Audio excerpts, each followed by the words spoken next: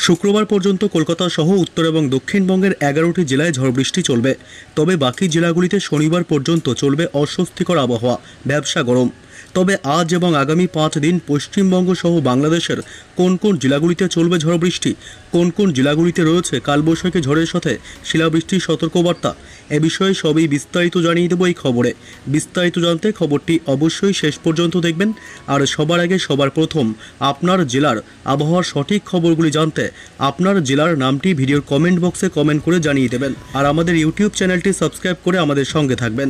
গুমোট গরমে বঙ্গবাসীর কার্যত নাজিয়াল অবস্থা। স্বস্তির বৃষ্টির জন্য অপেক্ষায় মানুষ। এর মধ্যেই সুখবর শোনালো আলিপুর আবহাওয়া দপ্তর।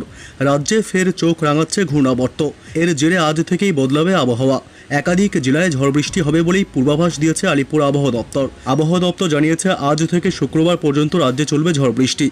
দক্ষিণবঙ্গের প্রায় সর্বত্রই ঝড় বৃষ্টি চলবে। পঞ্চাশ থেকে ষাট কিলোমিটার বেগে ঝড় বৃষ্টি হবে। এমনকি দু এক জায়গায় শিলাবৃষ্টিও হতে পারে। তবে ছাব্বিশ তারিখ এবং সাতাশ তারিখ চল্লিশ থেকে পঞ্চাশ কিলোমিটার বেগে ঝোড়ো হাওয়া বইতে পারে। বজ্রপাতের সম্ভাবনা।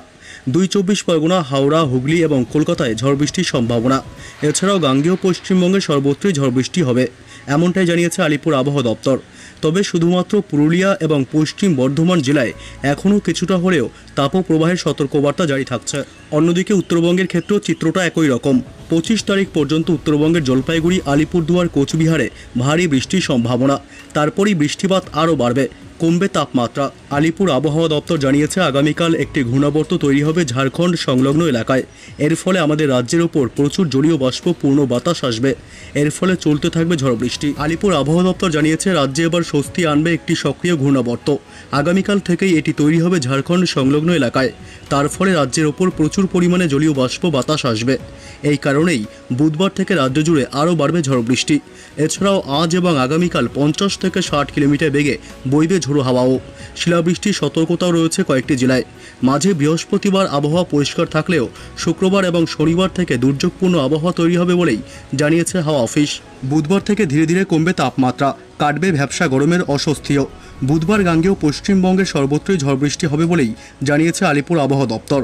সেই কারণে শহর কলকাতাও ভিজতে পারে বুধবার থেকে।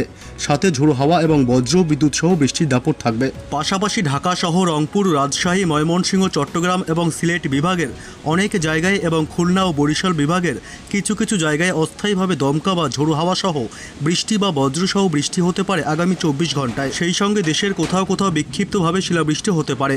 এ সময় সারা দেশে দিন এবং রাতের তাপমাত্রা সামান্য কমতে পারে। অন্যদিকে আজ নদী বন্দরগুলোর জন্য আবহাওয়ার পূর্বাভাসে বলা হয়েছে, রংপুর, দিনাজপুর, রাজশাহী, বগুড়া, পাবনা, টাঙ্গাইল, ময়মনসিংহ এবং সিলেট অঞ্চলের ওপর দিয়ে পশ্চিম বা উত্তর পশ্চিম দিক থেকে ঘন্টায় ষাট থেকে আশি কিলোমিটার বেগে বৃষ্টি বা বজ্রসহ বৃষ্টি, অস্থায়ীভাবে ঝোড়ো হাওয়া বয়ে যেতে পারে। এসব এলাকায় নদী বন্দরগুলোকে দুই নম্বর নৌ হুঁশিয়ারি সংকেত দেখাতে বলা হয়েছে।